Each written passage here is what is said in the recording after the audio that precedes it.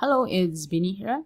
If you are using TradingView, you will find that there's a very cool function where you can import your watch list. That means that you can take the watch list that I have and then import that easily into your own watch list.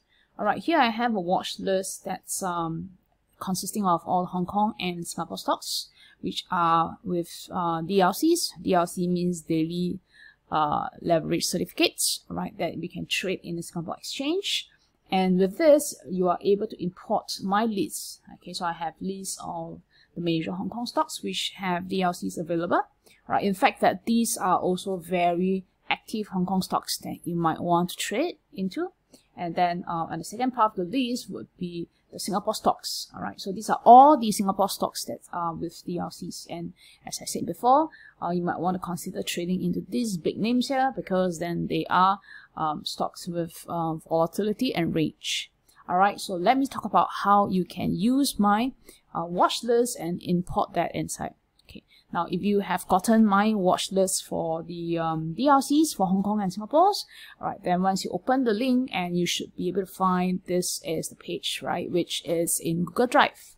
Now, what you do is you have to download, so click to the right hand side, download this file into your computer. So I have downloaded the file into my computer already, all right? And then um, make sure that you know the location of your download. And in this case, I have placed that into my download folder. Alright, so you can activate the watch list tab, which is at the rightmost, top rightmost. Okay, so this is the place where you can activate the watch list. So once you click on it, alright, uh, for me it's already activated. So once I click on it, it will disappear, and I, if I click that again, it will appear. Okay, so here's my watch list. See this little plus button here? So this is for you to add your symbol.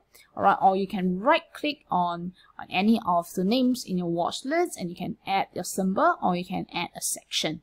Alright, or you can also go into your particular stocks that you want, right click that and you say, I want to add this into my different watch lists.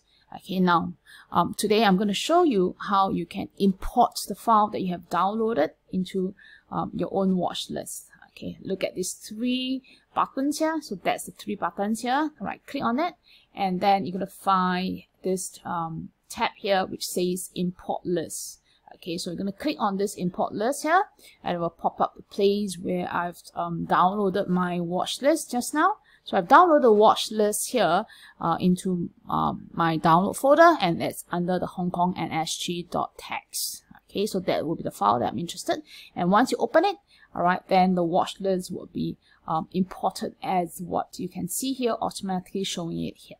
Okay, so that's a very, very simple way to do. Just remember, activate your watch list with this little uh, right hand side, top right hand side. And then you should see the three buttons here, three small little dots here click on that. All right click on that and then you should choose the import list and done. You have my watch list